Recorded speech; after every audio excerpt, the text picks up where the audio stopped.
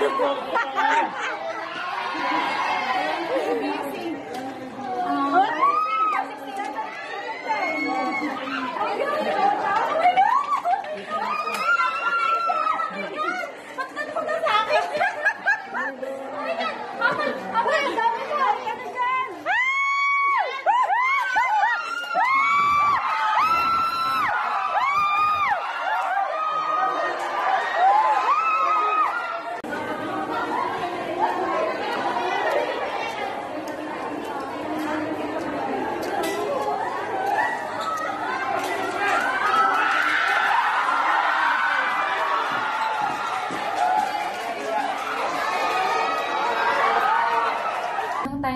Um, expected na namin maraming tao po. And then, syempre po, as customer service, kailangan namin i-provide yung needs nila. Na kailangan mas gear namin yung tickets nila, ganun. Then, nung mga nagka-countdown na sila for 10 a.m., ngayon, nag-down po yung system, nag-crash po talaga sa sobrang daming nag-online, sabay-sabay po buong Pilipinas, hindi lang po siguro Pilipinas. De, um, na ano sila, nadadown na sila kasi ma'am parang piling nila mauubos na agad yung ticket kasi nawala po talaga sa system.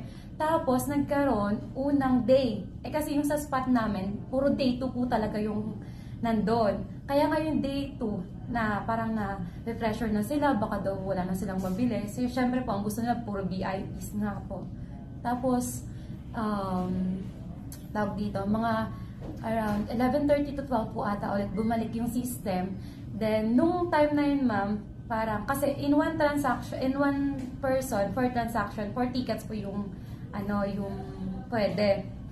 Eh, tapos nung time na yun, ma'am, nung yung sa viral nga pong video, um, parang two tickets lang binibili ni sir.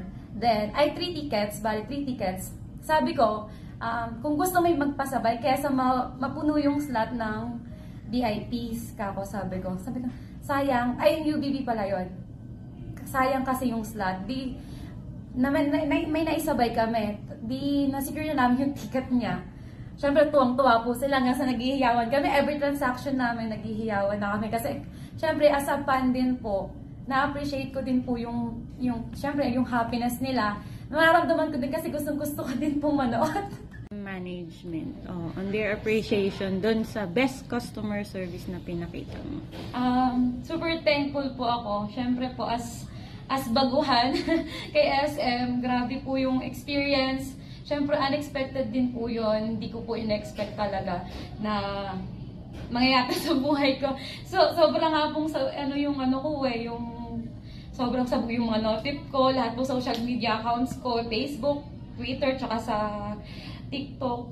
Um, um, nagpapasalamat po ako sa management, sa lalo, lalong-lalo na po dito sa SMCP Cabanatuan.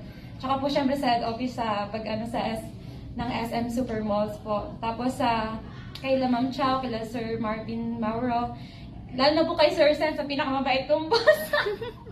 kay Ma'am Seth, sa lahat po ng staff, kila Sir Glenn, Sir Nick, kila Ira, tsaka kila Jasper po, tsaka sa lahat po, pati po sa mga guards, ng mga tumulong, sa lahat po ng, ng nakasama po sa paghihirap po para maging successful yung ticket selling namin.